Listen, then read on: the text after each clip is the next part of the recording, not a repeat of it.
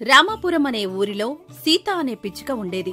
తనకి ఓ సొంత హోటల్ ఉంది తను వంట చేసిందంటే చాలు వాటి సువాసనలు చుట్టుపక్కల పది ఊర్లకు వెళ్ళేవి వింటే భారతమే వినాలి తింటే గారెలే తినాలి అన్నది పాత సామెత. వింటే ఏఆర్ రెహమాన్ పాటలే వినాలి తింటే పిచ్చుక వంటలు తినాలి అన్నది కొత్త సామెత. అసలు నువ్వు అంత బాగా ఎలా వండుతావు? ఎలా వండుతాను? అందరిలాగే వండుతాను. నీ దగ్గర వంట నేర్చుకుని వేరేగా రెస్టారెంట్ పెట్టిన కాకి దగ్గర కూడా ఆ రుచి రాదు. మా ఊరి వంట అభిరుచి ప్రోగ్రామ్స్కి పంపించాలి నిన్ను. భలే చెప్పావ్. అదేం లేదు. ఏదో నాకు తెలిసిన వంట చేస్తున్నాను. అంతే. నీ వల్ల రోజు మా ఆయన చేతిలో తిట్లు తింటున్నాను. ఏ నేనేం చేశాను? చూడు ఆ సీత పిచ్చుక హోటల్లో భోజనం ఎంత బాగుంటుందో. నువ్వు చేస్తావు. పాలు పొంగిపోతున్నాయి సిమ్లో పెట్టమంటే ఫస్ట్ సిమ్లోనా సెకండ్ సిమ్లోనా అని అడుగుతావు. అని తిడుతుంటాడు. అయితే ఓ పని చెయ్యి. ఇంటికి పార్సిల్ పట్టుకెళ్ళిపో. అడిగితే నువ్వే వండావని చెప్పు. అలాగే చెయ్యాలి మరి. ఇలా సీత పిచ్చుక హోటల్ మూడు వంకాయలు ఆరు క్యాబేజీ పువ్వులుగా సాగుతుండేది. సీత పిచ్చుక పేదవారికి డబ్బు తీసుకోకుండానే భోజనం పెట్టేది. తన దగ్గర ఉన్న అనాథ పక్షి పిల్లలకు కూడా. ఒకరోజు ఆ అనాథ పక్షులన్నీ ఓ చోట చేరి మేము ఈ రోజు బతికున్నామంటే దానికి కారణం నువ్వు. కొన్నాళ్ళుగా నువ్వు మా కడుపు నింపుతూ వస్తున్నావు. నువ్వు ఎప్పటికీ చల్లగా ఉండాలి. మీ కడుపు నిండితే నా కడుపు నిండినట్లే. మొగమాట పడకుండా ఎంత తినాలనిపిస్తే అంత తినండి. నాకు మా అమ్మ ఎవరో తెలీదు. అన్నం పెట్టేదే అమ్మ అయితే నువ్వే నాకు అమ్మవి. చిన్నపిల్లవైనా పెద్ద మాట చెప్పావు. నీ ఇష్టం. నన్ను అమ్మనే పిలువు. ఇలా పిచ్చుక అందరికీ సాయం చేస్తుండేది. కొన్ని రోజులు గడిచాక రాజస్థాన్ నుంచి ఓ పావురం ఈ ఊరికి వలస వస్తుంది. ఈ ఊరిలో ఎవరికీ ఫాస్ట్ ఫుడ్ అంటే ఏమిటో తెలీదు. ఇంకా ఆ పాత చింతకాయ పచ్చడే తింటున్నారు. వీళ్ళకి కొత్త రుచులు చూపించి డబ్బు గుంజెయ్యాలి అనుకుని పిచ్చుక హోటల్ పక్కనే ఓ ఫాస్ట్ ఫుడ్ సెంటర్ పెడుతుంది. టేస్ట్ బాగుండడం కోసం అడ్డమైన గడ్డి మొత్తం కలిపేసి వండి అమ్మడం మొదలు పెడుతుంది fast food fast food fast food. Noodles fried rice plate ముప్పై రూపాయలు మాత్రమే. వేడివేడిగా రావాలి రావాలి. అప్పుడే భోజనం కోసమని పిచ్చుక హోటల్కి వెళ్తున్న చిలుక పావురం షాపును చూసి ఏంటబ్బా కొత్తగా ఉంది అని వెళ్ళి కొనుక్కొని తింటుంది. అబ్బా ఎంత బాగుంది! ఇలాంటి భోజనం ఇప్పటికొచ్చి ఎక్కడా తినలేదే. రోజూ ఆ పిచ్చుక భోజనం తిని తిని బోరు కొడుతుంది. ఇంటికెళ్ళి తింటా. ఇంకో ప్లేట్ పార్సిల్ కట్టు బాబు అని పార్సిల్ కట్టించుకొని పిచ్చుక హోటల్ దగ్గరకు వెళ్తుంది. అప్పటికే అక్కడ గుడ్లగుబ్బ వాళ్ళ ఆయన కోసం భోజనం తీసుకుంటుంటే ఏయ్ పక్కనే ఓ పావురం ఫాస్ట్ ఫుడ్ సెంటర్ పెట్టింది. రోజూ ఇదేం తింటావు? ఒకసారి అది ట్రై చెయ్యి అదిరిపోయింది అని చిలుక చెప్పగానే గుడ్లగుబ్బ ఆర్డర్ క్యాన్సిల్ చేసేసి పావురం షాప్కి వెళ్ళిపోతుంది ఇలా అందరూ పిచ్చుక హోటల్ను వదిలి పావురం ఫాస్ట్ ఫుడ్కి వెళ్ళిపోతారు చివరికి ఆ రోజు గడిచేటప్పటికి పిచ్చుక వండిందంతా అలానే ఉండిపోతుంది. పావురం ఫాస్ట్ ఫుడ్ మాత్రం వండిందంతా అయిపోతుంది. చివరికి పావురం పిచ్చుక హోటల్ దగ్గరకు ఫుల్ మీల్స్ ఒకటివ్వు? నా దగ్గరకు రావడం ఎందుకు? నీ దగ్గరే బోల్డ్ అంత ఉందిగా? అది తింటే ఆరోగ్యం చెడిపోతుంది. అదే నీ భోజనం చాలా ఆరోగ్యకరమైంది. ఈ పక్షులకి హెల్దీ ఫుడ్ కన్నా టేస్టీగా ఉండే వరస్ట్ ఫాస్ట్ ఫుడ్ అంటేనే ఎక్కువ ఇష్టం. అందుకే నేను అడ్డమాలినవన్నీ కలిపి వండి పెట్టేస్తున్నా. అది తప్పు కదా? నీకు భోజనం అనేది సహాయం నాకు వ్యాపారం. ఇకపై నీ దగ్గరకు ఒక్కరు కూడా రారు నేను తప్ప. కావాలంటే హోటల్ మూసేసి నా దగ్గర ఎంగిలి ప్లేట్లు కడుగు పది రూపాయలు ఇస్తాను. అని అక్కడి నుండి వెళ్ళిపోతుంది పావురం మాటలకు పిచ్చుక చాలా బాధపడుతుంది. తన వ్యాపారం కన్నా తన ఊరి పక్షుల ఆరోగ్యం కోసమే ఎక్కువ బాధపడుతుంది. ఇలాగే వదిలేస్తే ఈ ఊరి పక్షుల ఆరోగ్యం దెబ్బతింటుంది. ఎలాగైనా ఏదో ఒకటి చెయ్యాలి. అని కూరగాయలు సర్దుతుంటే తనకి ఓ కాలీఫ్లవర్ కనిపిస్తుంది. దీంతో ఏదైనా చేస్తే బాగుంటుందని ఆలోచనతో ఓ కొత్త వంటకం తయారు చేస్తుంది. అంతలో అనాథ పక్షి పిల్లలు అక్కడికొచ్చి అమ్మా అమ్మా ఆకలేస్తుంది. ఏమైనా ఉంటే పెట్టమ్మా. అలా అడగగానే పిచ్చుక తను చేసిన కొత్త వంటను వడ్డిస్తుంది.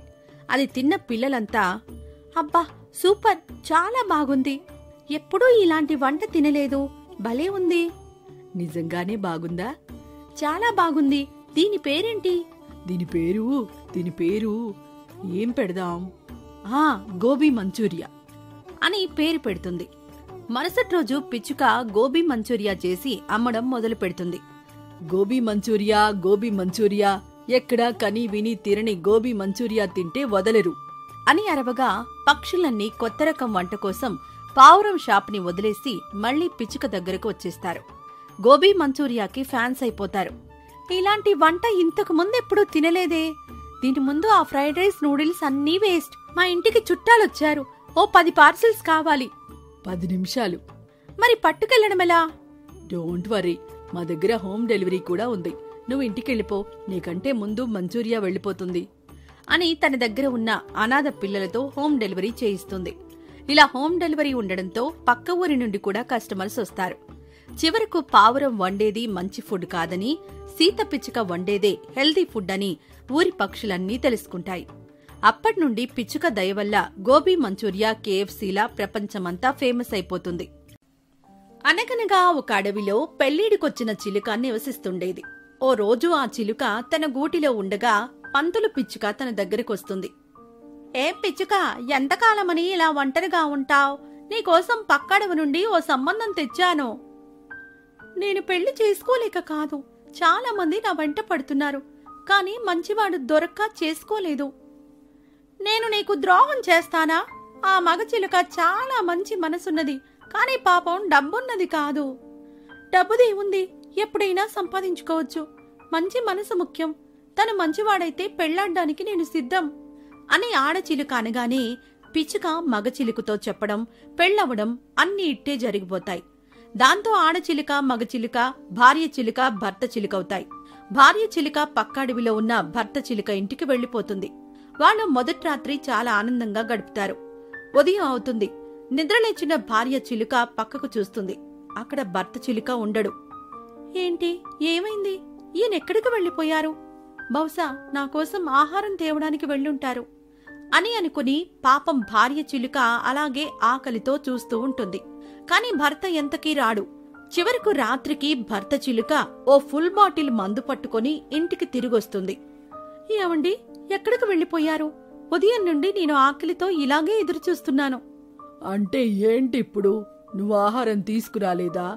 మగాడు ఆహారం తేవడం మా వంశంలోనే లేదు. రోజు నువ్వే వెళ్ళి తీసుకురావాలి. చ కనీసం మంచింకైనా ఏం లేదే. మందు తాగకండి మీ ఆరోగ్యం దెబ్బతింటుంది. నువ్వు వాగడం ఆపకపోతే నీ దవడ దెబ్బతింటుంది. మరుసటి రోజు ఉదయం భార్య చిలుక బాధతో పంతులు పిచ్చుక దగ్గరకు వెళ్తుంది. ఏం పంతులు పిచ్చుక? నీకిది న్యాయమైనా? మోసం చేసి ఆ తాగుబోతుకు నన్ను అంటగడతావా? నన్ను క్షమించు చిలుక. ఆ మగ చిలుక పరమ తాగుబోతని తెలిసి ఆ అడవిలో ఎవరూ తనకి పిల్లనివ్వకపోతే తను నాకు డబ్బులిచ్చి సంబంధం తీసుకురమ్మన్నాడు. మా అబ్బాయికి బాగుండకపోవడంతో నేను ఆ పని తప్పక చేయాల్సి వచ్చింది అని పిచుక చెప్పడంతో జాలిగుణం కలిగిన భార్య చిలుక ఏమనలేక అక్కడి నుండి వెళ్ళిపోతుంది వెళ్ళిన దారిలో ఆహారం సంపాదించి ఇంటికి వెళ్తుంది. ఆ రోజు కూడా భర్త చిలుక ఫుల్ బాటిల్ మందు తెచ్చుకొని భార్య చిలుక తెచ్చిన ఆహారాన్ని మొత్తం తానే తినేస్తుంది. అలా ఆ ఇంట్లో ఇదే బాగోతం కొన్ని నెలల పాటు సాగుతుంది. ఈలోగా భార్య చిలుక రెండు గుడ్లు పెడుతుంది. ఏమండి మీరెంతకాలమని ఇలా తాగుతుంటారు? రేపో మాపో మనకి పిల్లలు పుడతారు. వాళ్ళు కూడా మిమ్మల్ని చూసి ఇలాగే తయారవుతారు. ఏంటే ఊరుకుంటుంటే రోజు రోజుకి నీ మాటలు ఎక్కువైపోతున్నాయి? ఛ దీనమ్మా ఒక ఫుల్ బాటిల్ మందు కోసమని మొత్తం వైన్ షాప్నే కొనకూడదు. అలాగే ఒక రాత్రి సుఖం కోసమని పెళ్ళి చేసుకొని మొత్తం జీవితాన్నే పాడు చేసుకోకూడదు. నా బుర్ర తినడం ఆపి నేను తినడానికి ఏమైనా తెచ్చిపెట్టు పో. అని భార్య చిలుకని కసిరి పంపించేస్తుంది. పాపం చిలుక ఆహారం తేవడానికని బయటకు వెళ్తుంది. భర్త చిలుక మాత్రం ఎదురుగా ఫుల్ బాటిల్ పెట్టుకుని దున్నపోతులా పడుకుని ఉంటుంది. అలా ఎగురుతూ వెళ్తున్న భార్య చిలుకకు కాకి ఎదురవుతుంది. ఎందుకు దిగులుగా ఉన్నావు? పెళ్ళైంది మొదలు మా ఆయన ఇంట్లో వస్తువులన్నీ అమ్మేసి మరీ తాగుతున్నాడు. రేపో మాపో ఇల్లును కూడా తాకట్టు పెట్టేలా ఉన్నాడు. అది పోయాక నిన్ను తాకట్టు పెట్టేసినా ఆశ్చర్యం లేదు. ఈ తాగుబోతు నా కొడుకులకి తల్లేదో పిల్లేదో తేడా తెలీదు. పోనీ తాగితే తాగాడు భోజనం అన్నా తెచ్చి పెట్టాలిగా అది కూడా నేనే చెయ్యాలి. ఏం బాధపడకు నాకు పెళ్ళైన కొత్తలో ఇలానే జరిగింది. నీకిప్పుడు ఐడియా చెప్తాను దాన్ని అలానే ఫాలో అయిపో. అని కాకి చిలుకకు ఒక ఉపాయం చెప్తుంది. నువ్వు చెప్పినట్లు జరిగితే ఈ జన్మకు అదే చాలు. అని భార్య చిలుక ఆహారం పట్టుకెళ్ళకుండానే తిరిగి ఇంటికి వెళ్తుంది. భోజనమేదే? లేదు. దొరకలేదా? దొరికింది కానీ నేనే తినేశాను. దీనికే ఆశ్చర్యపోకు. ఇన్నాళ్ళు నా అమాయకత్వాన్ని చూసి నాతో ఆడుకున్నావు. ఇకపై నీ ఆటలు సాగవు. నేను నా గుడ్లను పట్టుకుని మా పుట్టింటికి వెళ్ళిపోతున్నాను. ఇక తిరిగి రాను. నువ్వు పోవడం కాదే నేనే తరిమేస్తాను.